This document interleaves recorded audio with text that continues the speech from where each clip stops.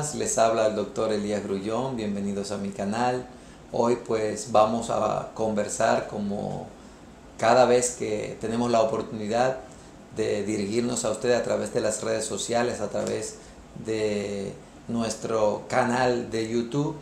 Pues hoy vamos a hablar, que lo han pedido mucho en las redes, eh, sobre lo que es cistitis intersticial.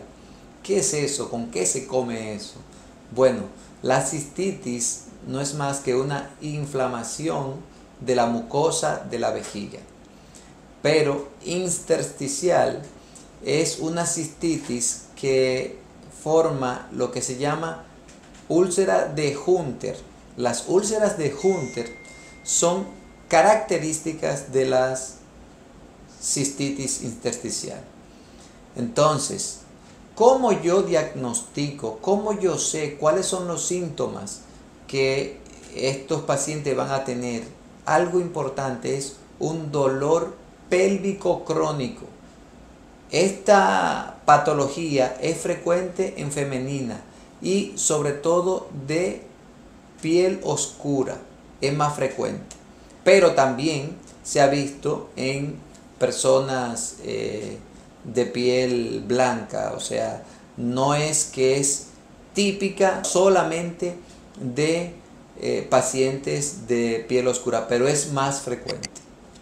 Entonces, cuando vamos a hablar de cistitis intersticial, tenemos que saber la ubicación de la vejiga. ¿Dónde está ubicada la vejiga? La vejiga es justamente esta estructura que está aquí, esta estructura que está aquí, y está compuesta por la mucosa, que es la parte de adentro de la vejiga, la muscular y la adventicia, la que es la parte de afuera.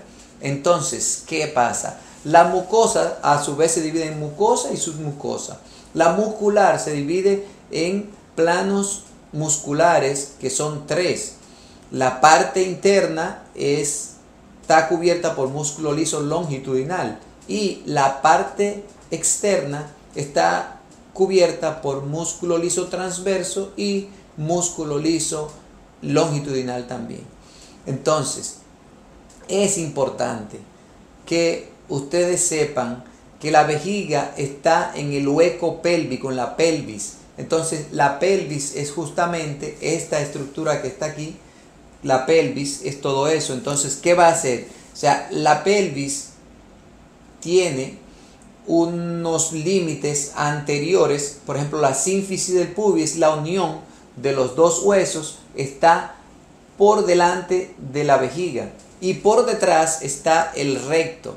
Entonces, también la vejiga está ubicada por encima del diafragma pélvico. El diafragma pélvico también juega un papel fundamental y a ambos lados pues eh, de la vejiga están los huesos pélvicos y por encima de la vejiga está el peritoneo que también forma parte importante de la vejiga.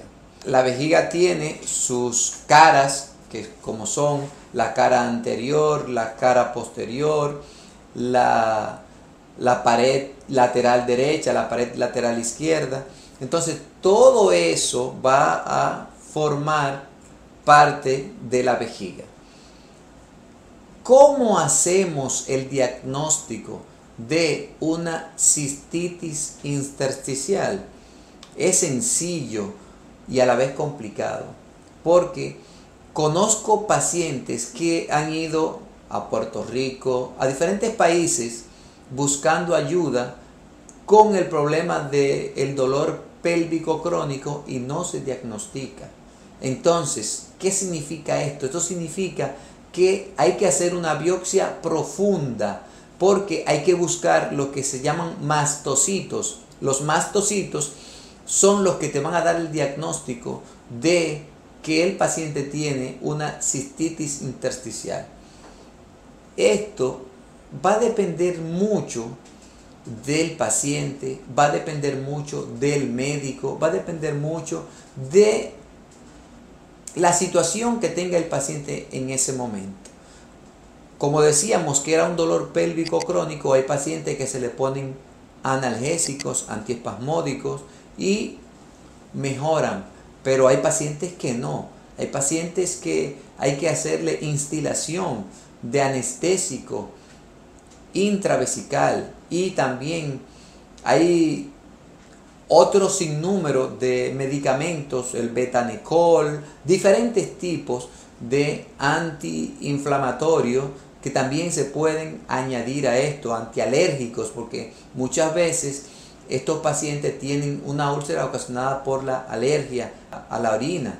Entonces hay que ver cuál es el móvil de estos pacientes y cada caso hay que individualizarlo. Recuerda que estamos ubicados en Centro Médico Corominas Pepín, detrás del Hospital Central de la Fuerza Armada, y también estamos en Plaza H, en el local 112, a tu orden. Suscríbete a mi canal, comenta, activa la campanita para que te lleguen las notificaciones y comparte.